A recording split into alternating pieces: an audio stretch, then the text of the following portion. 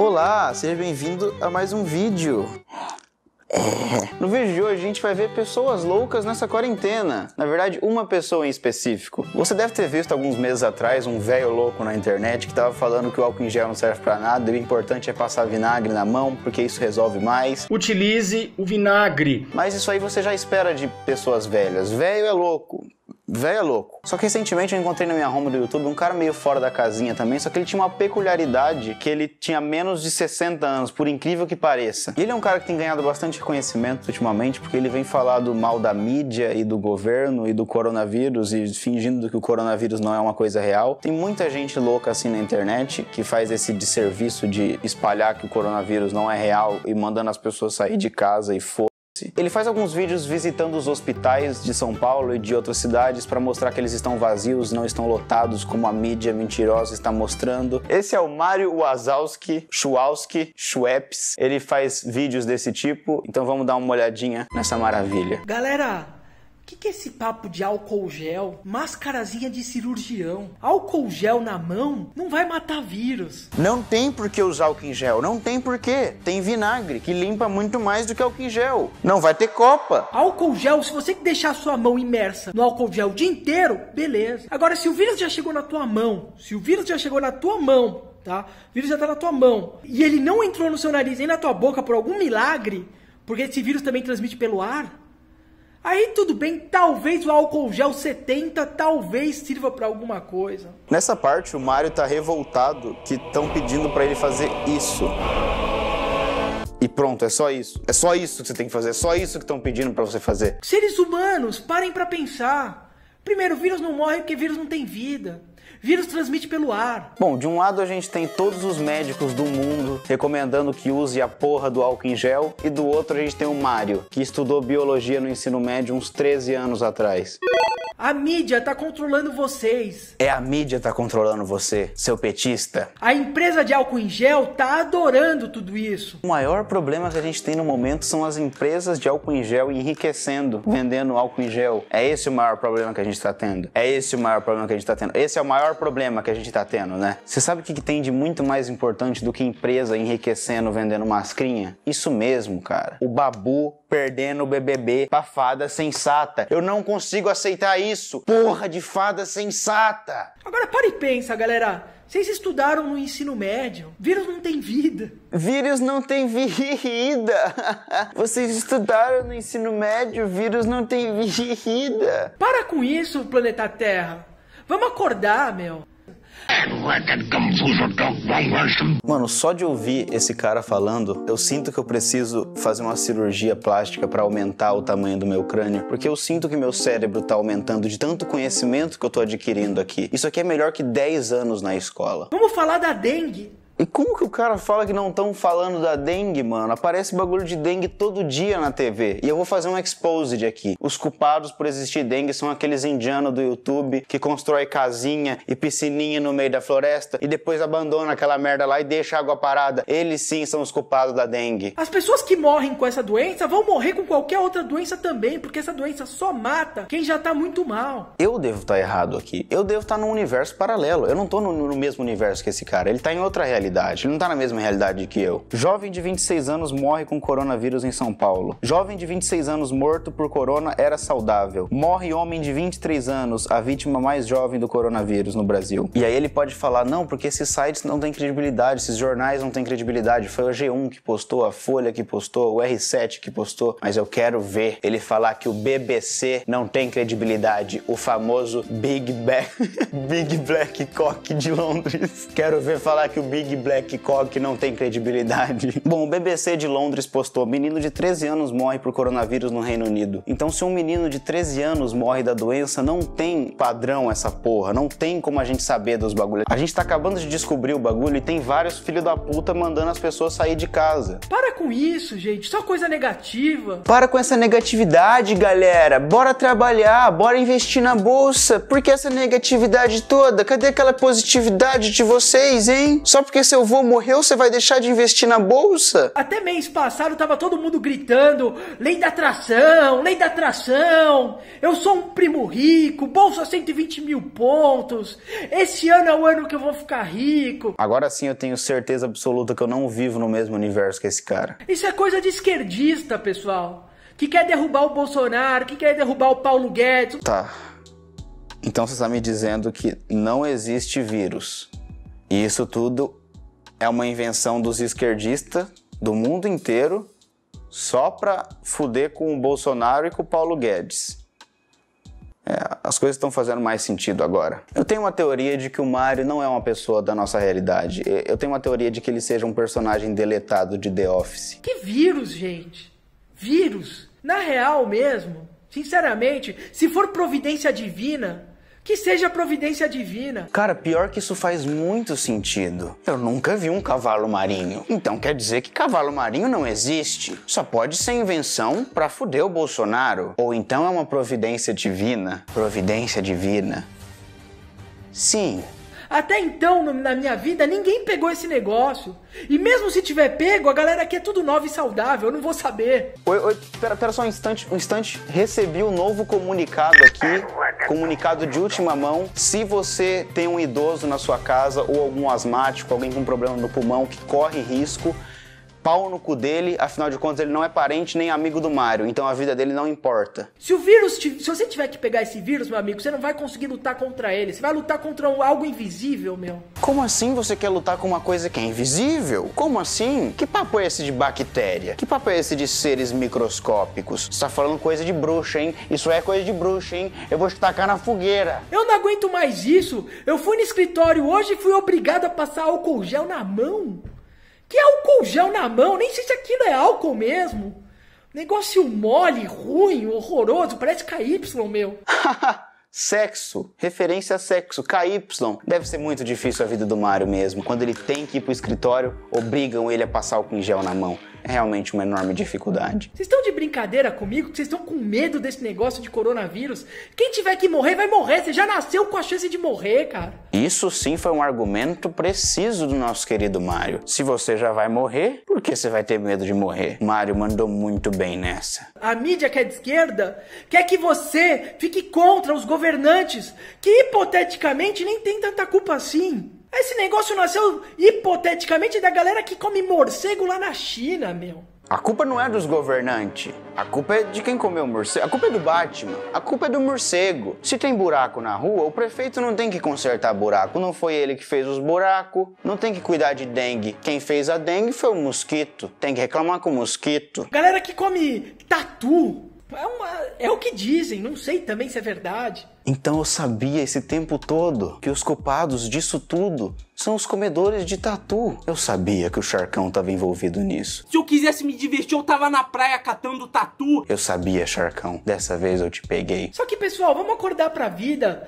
A sua vida não vai acabar agora. E se acabar, era para ter acabado e pronto. Que desespero é esse? Ufa, agora sim eu tô bem mais tranquilo. Tá parecendo que as pessoas à sua volta estão morrendo? Tá parecendo que todo mundo ficou leproso do dia pra noite? Sim, Mário, é realmente uma loucura. Parece até que 200 mil pessoas morreram em dois meses. É uma loucura mesmo. Uma loucura. Simplesmente uma loucura. Morre 120 pessoas por dia no Brasil de acidente de carro. Morre 700 mil pessoas por ano de AIDS no Brasil. Nossa, cara, você não vai acreditar, velho. Você não vai acreditar, meu avô morreu, cara. Eu sabia que ia acontecer, eu já tava esperando. Essa doença é foda, você sabe? Ela vem, ela não deixa recado, ela leva o nosso voo assim. Mas eu não sabia que ia ser tão repentino, cara. Foi, foi uma merda isso, foi uma merda passar por isso.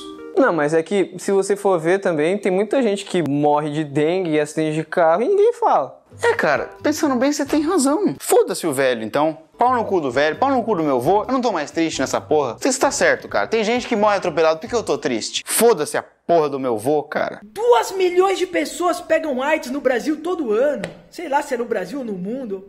Pode ser que seja no mundo, né? Se fosse no Brasil, fudeu. Hahaha, sim, muito engraçado inventar informação do cu e incentivar que as pessoas se infectem na rua. Porque sim, o Mario incentiva que as pessoas se infectem na rua. Galera, bom dia.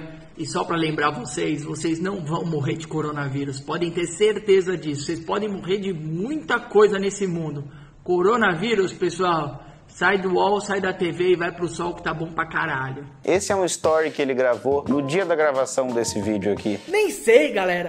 Vamos parar de focar no negativo. Eu gostava do planeta Terra quando as pessoas, quando aparecia aqueles coach gritando e vocês pulando atrás. Sim, Mário, todo mundo preferia a porra do planeta Terra antes de uma doença. Eu não sei se ele tá zoando aqui quando ele diz que preferia os coach gritando. Eu acho que ele tá zoando porque é melhor morrer de coronavírus do que ouvir um coach falando por mais de três minutos seguidos. Na moral, eu amo vocês. Eu amo vocês.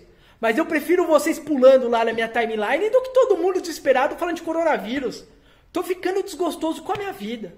Me desculpa, Mário Senpai, se eu te desagradei. Eu não quero que você fique com sua vida desgostosa. Eu vou sair agora e vou te trazer orgulho. Vou ser o melhor jovem empreendedor e investidor que você vai ver. Se eu ver alguém comprando álcool em gel na rua, eu vou socar na cara. Eu vou fazer questão de lamber todos os dedos da mão de qualquer velho que eu ver tossindo por aí. Eu vou te trazer orgulho, Mário Senpai. Essa doencinha aí que estão falando é muito mais coisa midiática do que uma realidade. Basta você olhar na sua volta e ver quantas pessoas estão realmente doentes. Bom, olhando em volta, zero pessoas mortas.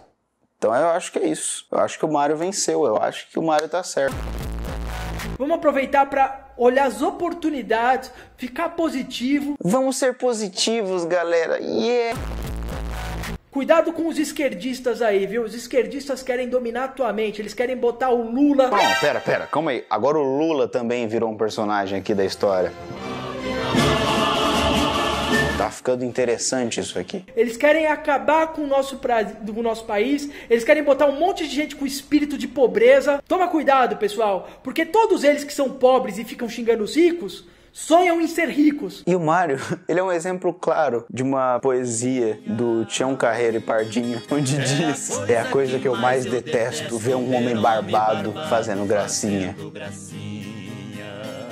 E num vídeo como esse, você realmente perde a percepção de realidade você não sabe se os comentários são piadas irônicas ou são velho falando sério. Comentários tipo esse aqui: Mel, cachaça e limão é a solução. Não dá pra você saber se o velho tá zoando ou falando sério. Simplesmente não tem como saber. KKKKKK. Eu não comprei nem usei álcool em gel ou máscara. Sempre falei que era muito alarmismo. Parabéns pela coragem. Brasileiro de máscara. KKKKK. Tudo burro. É carnaval nesse país. Ninguém quer contar a verdade pra gente. Estão usando máscara de cirurgião para fingir que são médicos cubanos. E esse aqui, por incrível que pareça, é um comentário do próprio Mário. Sim, acredite, ele não tem 70 anos de idade. Show! Fui no mercado hoje e tinha um monte de retardado com máscara cirúrgica, kkkk. Vírus não tem vida, mas tem capsídeo proteico, camada lipídica e ácidos nucleicos. E o que você tá inventando palavra aí? O Mário tá certo. Você tá vendo alguém morto aí? Você não tá vendo? Não existe essa de vírus, seu mentirosinho petista. E nada desse vídeo em específico tem muita importância, porque esse vídeo não teve muita relevância por motivos óbvios, mas o Mário tá tendo alguns virais no YouTube, que foi como eu encontrei ele, que são alguns vídeos dele visitando os hospitais hospitais de São Paulo e região, acredito eu, para mostrar que esses hospitais estão vazios e meio que para refutar a mídia. E na maioria desses vídeos ele tá atacando o Dória, que sinceramente foda-se o Dória, eu caguei pro Dória, não tô nem aí pra Dória. A única vez que eu ouvi falar do Dória foi quando ele broxou naquela suruba de anão. Eu só acho esses vídeos muito entretivos, porque de vez em quando ele sai na rua procurando por doente na rua. Parece o Renato Garcia, caçador de lenda, procurando o pé grande por aí. E esse vídeo que eu vou mostrar agora é um dos meus preferidos, porque esse vídeo vídeo sim mostra que o Mario não é um personagem de The Office, ele é uma pessoa real. E isso é comprovado a partir do momento em que ele chama a mãe dele, que estava em outro estado, sei lá, para dar rolê em hospital público. O cara é completamente fora da casinha. O Mario, o Mario é sensacional. Ele não é o herói que a gente queria, mas é o herói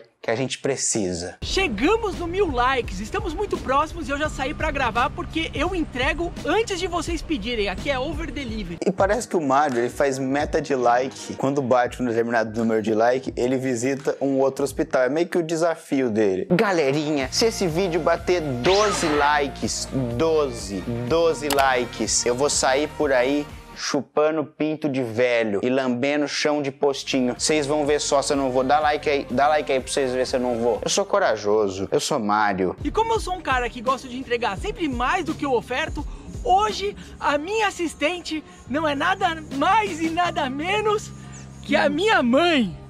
E é nesse vídeo que eu fico realmente preocupado com a situação do Mario, porque uma coisa é você fazer vídeo conspiracional na internet e outra coisa é você levar sua mãe num hospital. Mas é porque o Mario é corajoso, ele não é que nem vocês, nerds cabacinhos, que não tem coragem de botar a língua num corrimãozinho. Seus nerds, vocês são nerd. Deixa eu falar uma coisa, eu nem acredito no que a mídia está falando. Eu tenho outra teoria que eu não preciso nem perder meu tempo explicando para vocês. Mas como eu vivo da minha fé e não do medo dos outros, como eu vivo daquilo que eu acredito e não daquilo que os outros acreditam, eu vou aqui com a minha mãe, que de qualquer jeito, se eu ficar doente, ela vai ficar doente também. Tá com medo, mãe? Não.